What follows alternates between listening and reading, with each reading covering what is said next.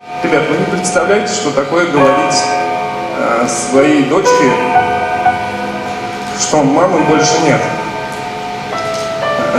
Видите, знаете, у меня ну, ну, была одна ситуация, я захожу в комнату, она обнимает ее носки. И, и говорит то, что говорит, я знаю, что я хочу на день рождения, а ни я и никто другой не сможет выполнить это.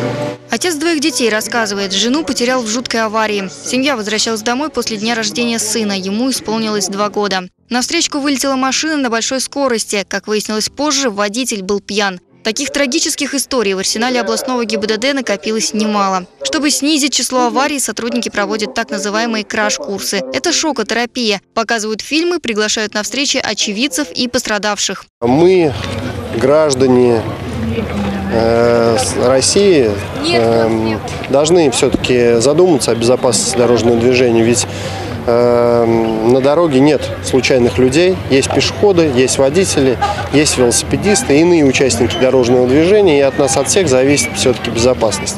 В день в Самарской области случается не менее 10 аварий, говорят эксперты, в основном на загородных трассах. Фуры не всегда пропускают легковые машины, те же слишком спешат и пытаются обогнать. Но и в городе аварий хватает, хотя в последнее время их количество и сокращается. Здесь причина в основном кроется в нетрезвых водителях. Для помощи сотрудникам автоинспекции в 2015 году создали общественную организацию «Ночной патруль». Это активисты, которые помогают выявлять нетрезвых водителей на самарских дорогах. часть общества, которая готова оказывать полиции, а, вот э, прежде всего в задержании таких во- водителей. Вступить в ряды добровольцев может любой желающий с отсутствием судимости. Для этого нужно связаться с общественниками, например, через группу в соцсетях. Мария Левина, Николай Пифанов. События.